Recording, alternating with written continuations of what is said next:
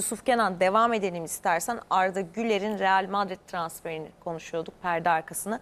Daha soracağım çok şey var ama sen bir devam et. Öz, özet e, yapayım çünkü belki yeni Evet. açanlar vardır. Arda niye Real Madrid'i tercih etti ya da Arda e, bu transferde neden kalmak istemediği gibi sorular söz konusu olabilir. Bunları detaylı konuşacağız ama Real Madrid sizi çağırıyorsa öncelikle Real Madrid'i kabul edersiniz. Bu Barcelona için de geçerli ama iki teklif arasında fark vardı.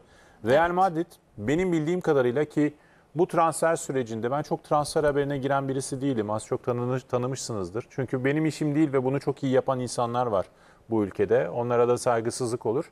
Ancak Arda transferinde e, 21 Haziran'da Real Madrid ismi hiç ortada yokken söyledim. E, hatta yukarıda sevgili editörümüz Yusuf Başyeşil ile de konuştuk.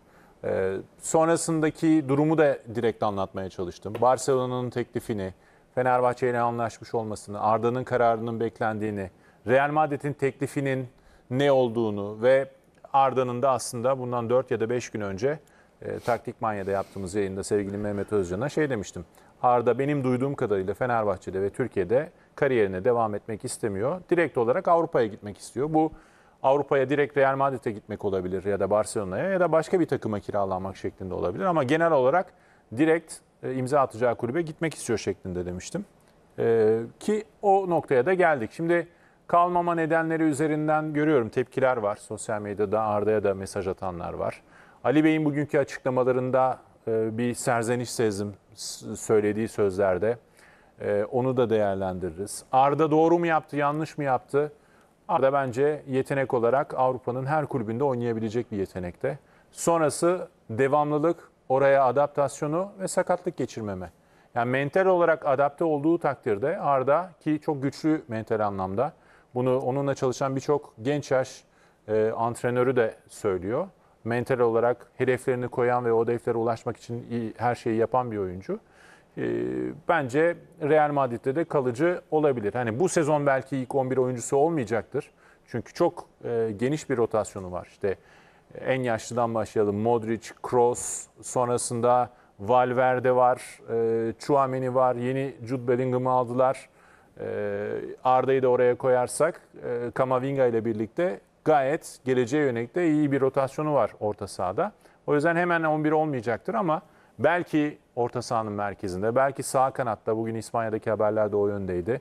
E, kullanılacak, değerlendirilecek ve süre bulacaktır.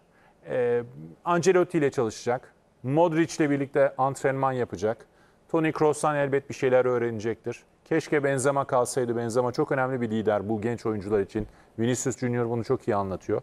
Ee, Vinicius Junior, Rodrigo gibi genç yeteneklerle çalışacak. Yani Real Madrid'i reddedemezsiniz. Bugün e, herkesin kariyeri farklıdır. Herkesin hedefi vardır muhtemelen kariyerinde.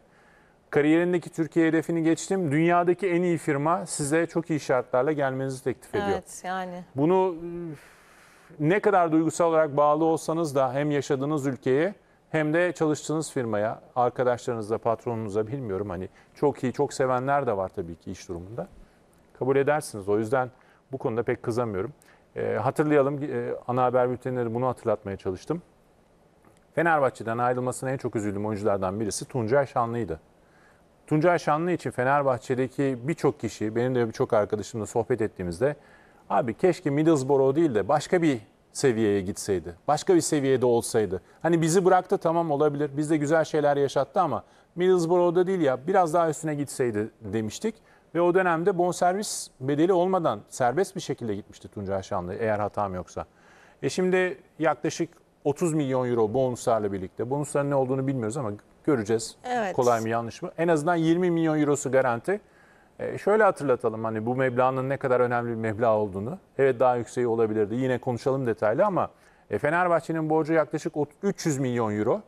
E, kulübün tüm borcundan bahsediyoruz. E, %10'una neredeyse tekabül ediyor bu transfer. Evet. Yani bu oyuncu 18 yaşındaki bir çocuğa da bu kadar hani haksızlık etmeyelim. Yani bu iyi bir meblağ kazandırıyor. Bu ülkeden zaten çok 50'ler 40'lar çok görmeyeceğimiz meblağlar. Artı yani ben teşekkür ediyorum. Bir buçuk iki sezondur. Bizim gözümüzün pasını sildi her oynadığında. Ee, güzel işler yaptı. Karakter olarak da düzgün bir insan olduğunu düşünüyorum. En azından çevre e, öyle söylüyor. Çevresindeki insanlar öyle söylüyorlar. Umarım başarılı olur. Ben geçen ne demiştik? Barcelona giderse Barcelona, Madrid'e giderse öyle. Madrid forması alırız. Ben Arda'nın Türk futbolu adına da başarılı olmasını istiyorum. Bir de bilmiyoruz. Belki 7-8 sonra, sene sonra Fenerbahçe'ye tekrar dönecek. Başka bir hikaye yaşanacak.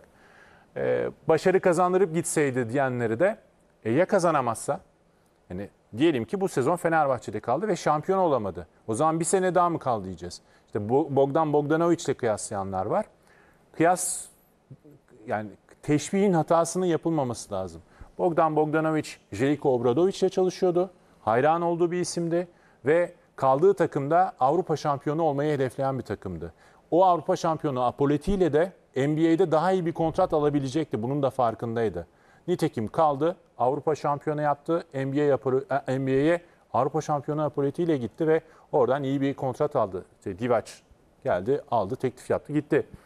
Ee, aynı şeyler değil. Yani bugün Fenerbahçe e, futbol takımı hele en en yüksek hedefi şu an için ligdeki şampiyonluk. O yüzden yani kıyaslarken çok e, farklı noktalara taşımamak lazım. Bu kadar da haksızlık etmemek lazım. Devam edeceğiz. Hocam senin de bir görüşlerini alayım. Sonrasında Ali Koç'un da Fenerbahçe Başkanı'nın da açıklamaları var. Onları da izle, izleyeceğiz ve konuşacağız. Sen nasıl değerlendiriyorsun? Ben fikirlerimi söylemiştim. Yani gene söyleyeyim e, belki geçiş anlamda. 20 milyon euro artı bonuslarla Televizyon. 30 milyon euro. Biraz bununla ilgili de senin düşüncelerini merak Şimdi bir kere ediyorum. para çok iyi para. Bonusların ne olduğunu bilmiyorum. Büyük bir para. Yani büyük para. Şimdi 17 milyonu zaten ben bunları söylemiştim şöyle. Şimdi e, Barcelona dedi ki bir sene daha kap. Tabii medyadan duyduklarımız. Bir sene işte biz anlaşalım burada oynasın falan filan. Ya öyle bir şey olur mu ya? Şimdi ben dedim ki o zaman ben niye şimdi belki dedim işte Real Madrid, belki işte Manchester United, belki işte Manchester City teklifte bulunacak. Pazarlığa girecekler. Benim düşüncelerim bunlardı. Ve demek ki böyle bir şeyler vardı. Benim düşündüklerim de oldu. Devreye Real Madrid girdi. Belki başka bir takım daha girmiş olabilir bilmiyorum ama onların adı geçmedi. Şimdi Sevilla hiç kabul etmiyorum. Hiç kabul etmedim. İşte buradan gitsin de basamak olsun. Ya ne işi var orada Sevilla'da veya Leipzig'te veya Ajax'ta? İşte oradan daha iyi gidiyormuş falan. Hiç bunları kabul etmedim. Benim konuşmalarımı keşke böyle şeyleri ekranlara getirsek. Hocam buradasın işte. İşte Hocam yok her ama konuşmanı ekrana Yok, getirirsek yok. programı yapamayız ama şimdi. Yap, hepsi. Bana söyle. Ben hepsini Şimdi- hatırlıyorum. Evet. Çünkü çok Şimdi çok şey söyledim bunları bu konuyla yok ilgili. bununla konuyla ilgili Ama tekrarla. bunları söyledim. Şimdi yani şöyle söyleyeyim ya e, yani benim söylediklerim hepsi şey yaptı, çıktı. Onun için bu konuyla ilgili ne dediysem onlar oldu. Ama illa buraya olacak diye bir şey söylemedim ama temennimde yani büyük bir kulübe gitsin. Direkt oynayabilir. Ha, ne kadar oynar? Niye bu bilmem ne kadar oynayacağını ama şu var. Ya o gücü var. O şimdi bak bir tane hareket yaptı biliyor musun? Gelen topa şöyle bir vurdu buradan döndü falan. Müthiş hareketleri var ya. Bu gücü de var. Şimdi bak Real Madrid'de hocası değişmedi değil mi? Yok Ancelotti. bak, şimdi Ancelotti'nin ben şeyine hayranım. Kimi, kimse bu kondisyonu veren tamam mı? Müthiş bir Ya. İtalyanlar o konuda çok Kimse iyiler. ama bununki bambaşka. Ancelotti'nin bu kondisyonunu ben hayranım. Şimdi bunun var ya bak göreceksin şeyi de çok artacak yani fizik olarak da artacak. Zaten bana göre iyi de daha da artacak. Temposu da artıyor.